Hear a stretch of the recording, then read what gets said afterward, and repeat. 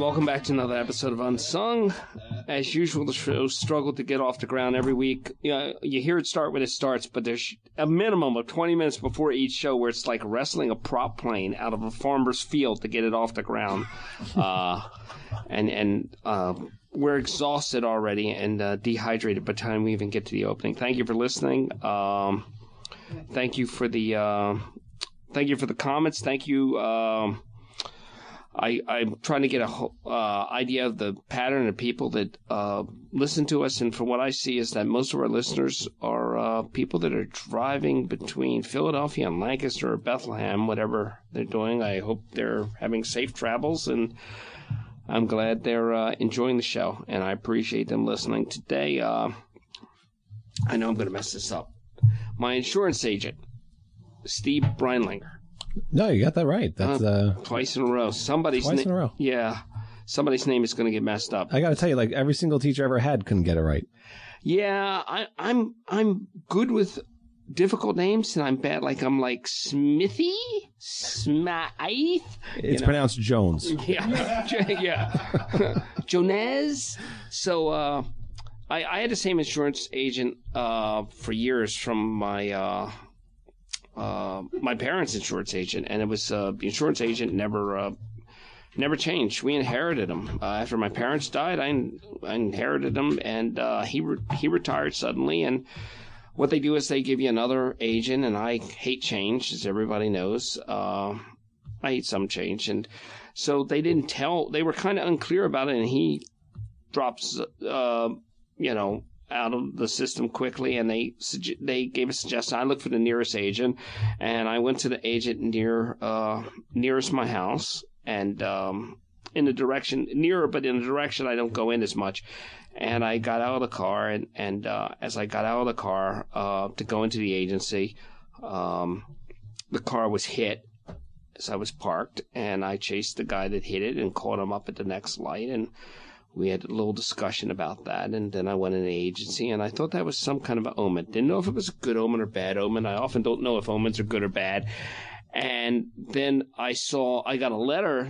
When I got home, there was a letter saying I'd been assigned to Steve's agency, I, and I went up there and uh, I I met with him, and uh, we talked, and uh, I kind of interviewed him as my new agent. Um, it's like it's like when you change a barber, you know my barber retired and I got a new barber and I said, uh, you know, you're interviewing him like he's dating your daughter. Like, how how old are you? Uh, how long do you expect to be a barber?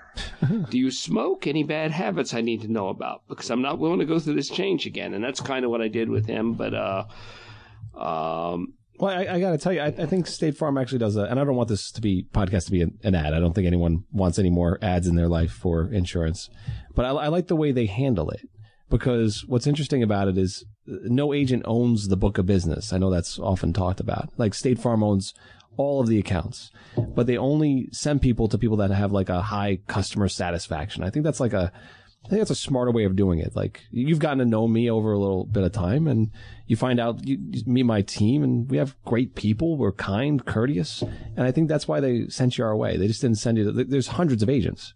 Right.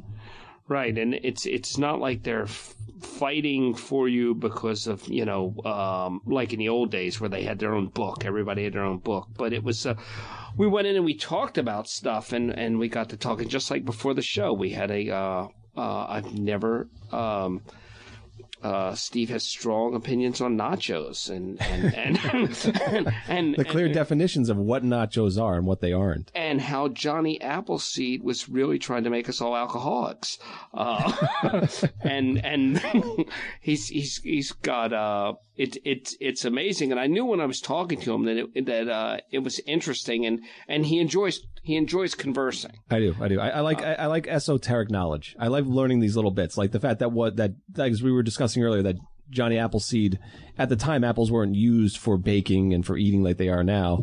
They were primarily used for making al- alcohol called Applejack. I think that's fascinating.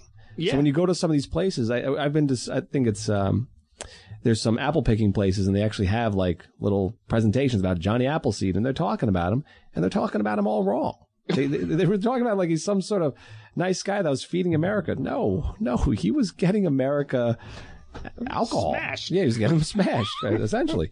And then uh, I think what precip- precipitated this discussion was the cereal Applejack, right? Right. Well, of course, it doesn't taste like Applejack, which is an alcohol. that would be as insane as cocoa bourbons or whiskey flakes.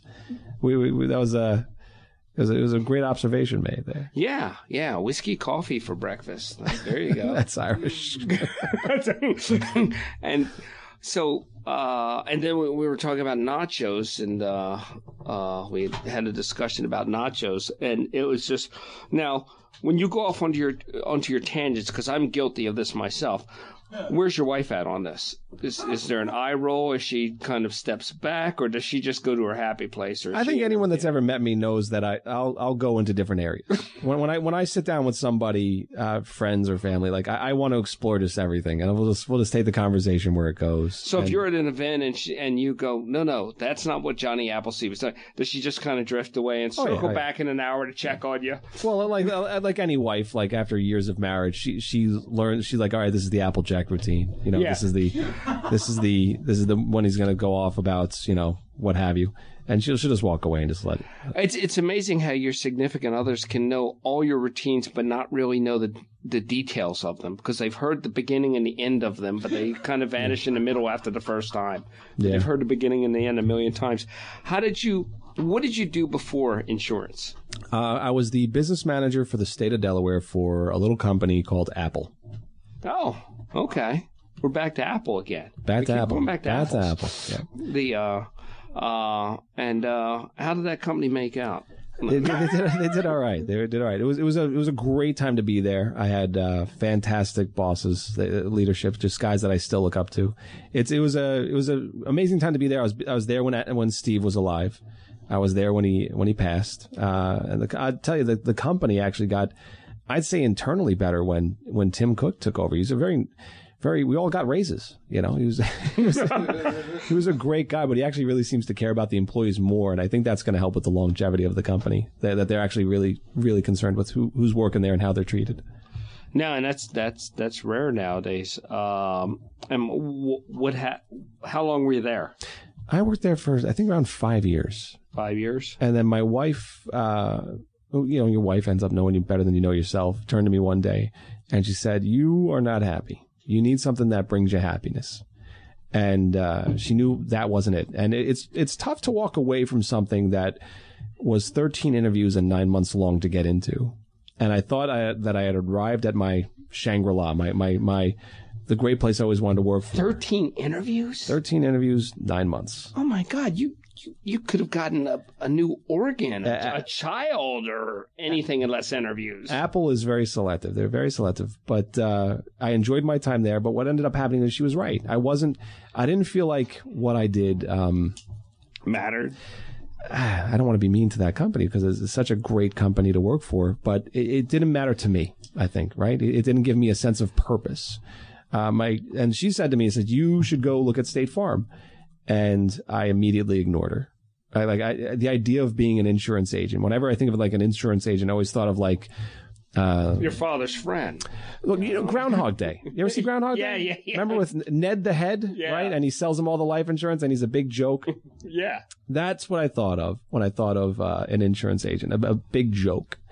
And then uh, about a, you know, I kept thinking about it, kept thinking about it, and uh, eventually I did some research and I found out, wow, this is it's an amazing job. It's really, I've had people crying in my office. I've never really had people crying when they were buying an iPad. You know, uh, I've had people thanking me and, and helping me. I've I've had to deliver life insurance checks for people that have passed. I've I've got to be there for people at some of their worst times, and I've got to be the person that helps them get back together.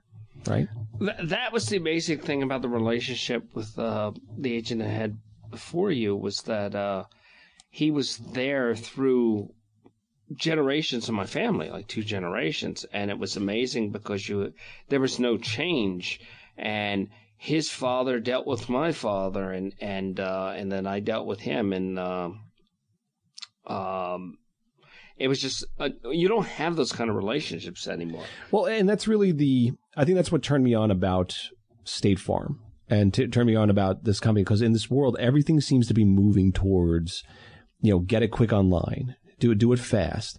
And there's very little room for relationship. And I don't think that's just insurance. I think a lot of industries are moving that way or feel like they're being forced to move that way. So I feel like the, the future might be in personal relationships. We still need to communicate as human beings. We still need to um, have relationships. And I think there's going to be a swing back towards that, to where that commodity or that not commodity, that special relationship that, that not just insurance but any industry offers will be highly coveted. Well, I think I think that's in part because uh, the value you see in your current profession it becomes more valuable because of the disconnect created by your previous profession. Whereas Apple is one of the many companies making these devices that have given us the illusion that we're more connected. And we are connected, but we're also isolated. You know, we can choose our little segment of the world to deal with, and we sc- stare at a screen and we peek in each other's lives and think we're participating. Now, clearly, I'm not I'm not a part of Apple's marketing team, so I don't know their true intent. But I always felt like they were trying to connect people, but I feel like the people using the technology might abuse it to move away. Oh, absolutely, absolutely, and and that's what we do. We always, you know, you you can make something with the with the most noble of intentions, but we will drag it down to, you know, we will either turn it into like boxing or something, you know, that it wasn't meant to do, and we just drag things down. Uh, and and there is good that comes from it, but I just see that I think that overall, if we used it right, we we'd be much better for it. But we go for the lowest common denominator comfort level. I can give you a great example of of, of abusing the technology. Okay. Right when you're sitting down with somebody. When I was at my last job, um, they wanted us to use our technology, meaning they wanted us to use all of our devices whenever we can to show customers how we use them. So when I'd sit down with someone and I'd take notes, I wouldn't do it on an iPad or a computer. Because when you're sitting there typing or what have you, or using a, using a device, it tells people you're not present, right? That's why when, when I sit down with people, I always write. I always write down. I have a nice moleskin. I love moleskins. Oh, They're moleskin's fan- great. Fantastic. They, they, you get them for life. But it tells people that I'm present. I'm here with you. I'm paying attention. What you say matters Right. so much to me that I'm going to write it down. I, I, I love moleskin. I love the tactile thing of writing. I always, and I've said this for years. You, there may come a time when you see a computer on every desk, but there'll never be a time where you don't see a pen and a piece of paper because I think that they just haven't gotten there technologically. There's a couple things. One, they refuse to make a screen that's eight and a half by eleven inches for some reason, but there's other things. You you and what you said there is really important, and people take it for granted. So many people aren't present when they're talking to each other anymore, and you'll be at the register, and somebody will be you'll have somebody checking your eyes on the phone, and I said this to somebody the other day. I said, "What are you doing?" Because he just locked up in the middle of his conversation, and I wasn't. And he said, "I'm multitasking." I said, "No, you're doing two things poorly." That's different, you know, and they think they're multi and they're not present in the moment. And writing is, I just can't write. And I've tried every notepad app there is. It isn't the same as writing on a three by five card. Absolutely. It just Absolutely. isn't, it hasn't gotten there. Now, as far as where these things excel is recalling information and pulling thoughts together. Nothing better. Yeah. Uh, but uh, as for actually, um, I think that we have made the technology uh, veer in a way that hurts us as a society in communicating interpersonal communications. Well, I got to tell you, like we, we sit here and talk about being present and not using technology and, and being in the moment. But um, I went to Starbucks recently and I, I was just doing their little work, and there was a guy there. He didn't have a phone out, right? He didn't have an iPad, didn't have a computer. He was just drinking his coffee, and he looked like a psycho doing it because he was the only person that's just looking around while everyone else is doing things. You just look like a nut nowadays if you're having coffee and just t- keep it to yourself.